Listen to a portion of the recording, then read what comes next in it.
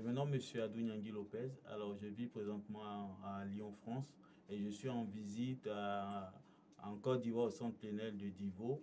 Alors, le prophète Joël Crasso est mon père spirituel. Donc, euh, depuis 2017, euh, j'ai fait sa rencontre. Et grâce à cette prière, grâce aux, prières du prophète Crasso, j'ai pu obtenir mes papiers en, en 2019. Voilà, après 13 ans passés en France. Et encore après cela, je suis rentré à l'école de cuisine où j'ai obtenu un CAP. Et grâce aux, prières du prophète Crasso, j'ai encore trouvé un excellent travail.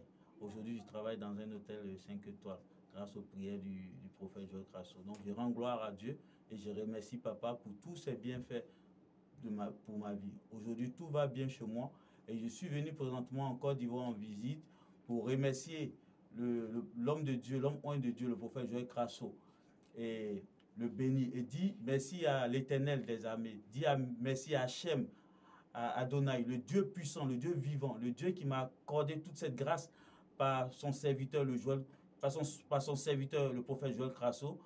Je, leur dis merci. Et j'exhorte tous les membres, tous les jeunes africains de la GK, tous ceux qui sont fils et filles spirituels du prophète Joël Crasso, de venir visiter la, euh, la ville de Divo, et de participer aux œuvres de, de, l'Église, du centre plénière de Divo, et d'être reconnaissant surtout.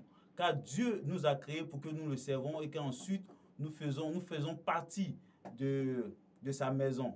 Donc je bénis euh, le prophète Joël Crasso, je bénis ses mains qui continuent de, de nous faire du bien et je vous dis merci pour tout. Merci à tous ceux qui nous ont aidés de près et de loin.